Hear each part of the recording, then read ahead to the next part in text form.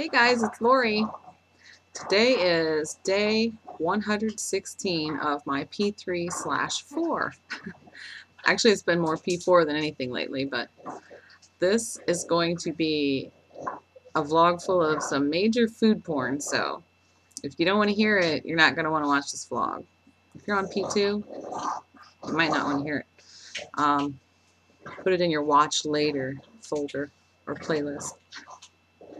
Anyway, um, oh, and by the way, if you hear the noise in the background, it's my pug. I don't have Chewbacca in my kitchen or anything like that. It's my pug. He's chewing on a pig ear. Sorry if you're offended by that pig ear thing, but I didn't cut it off myself or anything. I bought it, so. He's chewing on a pig ear. Anyway, um, yeah.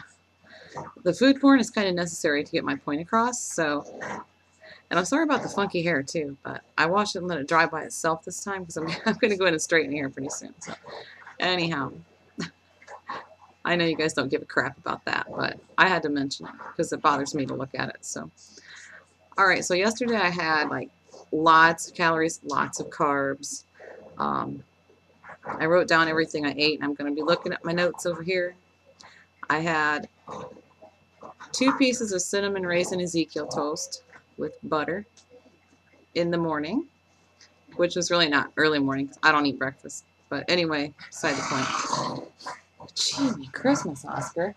Getting into that down there. Okay, the two pieces of the cinnamon raisin Ezekiel toast. I had a McDonald's sweet tea, which I do half sweet tea and half regular tea. Well, I haven't had that in like over a year, but when I used to drink the sweet tea, that's how I've always drank it. It's too sweet for me. Um, I had fried red potatoes, with Vidalia onion. Oh, I can't resist Vidalia onions. They're so good. Black bean chili, had some of that. Later on, we had a campfire, and my whole family was here. We had chips and dip was one of the things we had, and I was kind of munching on those after we got the fire started, kind of waiting on the fire to die down a little bit so we could cook some hot dogs, which I had a hot dog with a bun. I had some baked beans, which I only had about three bites of because they were gross macaroni salad. I had two s'mores. Um, then about 2 a.m., yes, 2 a.m., and I wasn't drunk, I had some more chips and dip. Yeah, I did lots of them. So anyway, I had to kind of stand there and say, back away from the chips, Fluffy. You're eating like you're loading. What are you doing? So I backed away. But anyway, this morning I was kind of afraid to get on the scale. I thought, God, you know, I'm going to be up at least at least two pounds. I'll be I'm going to be in the mid 130s. I just know it, you know. So I was kind of dreading the scale. But even though I didn't feel bloated or anything like that, which I was surprised, but I didn't. And I got on the scale and I was 131 even, which is 0.4 down from yesterday. What? 0.4 down from yesterday. No, I didn't do the scale dance or anything. You know, I didn't dance with that number. I took it and ran. So, I mean, I, I don't know. But my, my point here, I do have a point, I promise. I'm 0.8 below what I was seven days ago. I'm not where I want to be. No, I'm in the 130s. I'm not where I want to be, but I do have a point, I promise. Last week I ate clean P3 on Monday and Tuesday. Okay. Then the next four days, not so much. I had um, anything and everything I wanted, really. Things like, uh, well, like my bad choices included things like rice and um, potato salad, potato chips, Cheez-Its. That, that's one of my weaknesses, Cheez-Its. I always have them in the house. One of my weaknesses that I always have in the house. That's the thing. Because my, my youngest son absolutely loves them, and that's his go-to snack after school. So I always have them in the house. Um, what else did I have last week? Oatmeal cookies. I had some oatmeal cookies. Um, you know, stuff like that.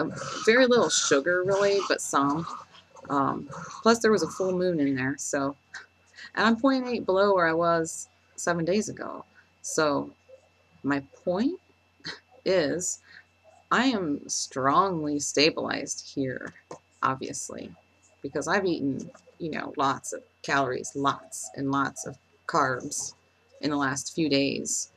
And I'm 0.8 down from where I was seven days ago.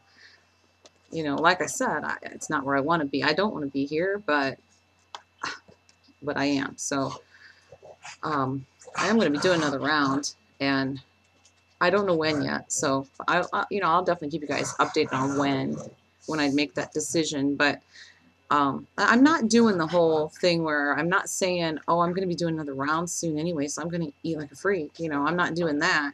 But what I am thinking is, I keep thinking, well, I'm going to be doing another round soon, so I'm not going to bother to try to take it off on my own. So, anyway, um, there's my update. Now I want to tell you about a fun exercise I found. It's super fun. I really love it. It's hula hooping. I love hula hooping. My I used to do it all the time when I was a teenager, but um, my daughter Brooke, my 24 year old, she loves to hoop. She does it all the time. She does all the fancy tricks and dances and you know stuff like that with her hoops. And actually, I have a video on here of her. It was just a video that I put on for her sake. but anyway, I had a few people watch it. But now she's practicing with like multiple hoops and stuff, so she does it all the time. And I bought a water weighted hoop. I have another one too, but which is fun. The other, my other regular hula hoop is fun, but the water weighted hoop is a workout and it's fun. So, and you can feel it too. You can feel it in your abs. You can really feel it like afterwards. You can feel your abs have been worked, and then the next day you can feel it in your abs. So I really like it. And I got it at Walmart for five bucks in the toy department with all the other hula hoops. I don't know. It just looks like a regular hula hoop till you pick it up and go to use it. It's got water in it. You can hear it if you shake it. But and I don't know the weight of it or anything, but um anyway, it's a great ab workout and it's so much fun. And even Brooke used it and she even said, "Wow, this is an ab workout, mom. This is great." And she said she could even feel it in her abs. So, and she's used to hooping. But anyway, I just thought I'd tell you about that. It's so much fun. And you know, you put on a song and do your hooping, and then you put on a song that's got a little bit faster rhythm to it, so you can hoop to the rhythm of the song. It's just a lot of fun. Um, I haven't worked too much on my activity room lately.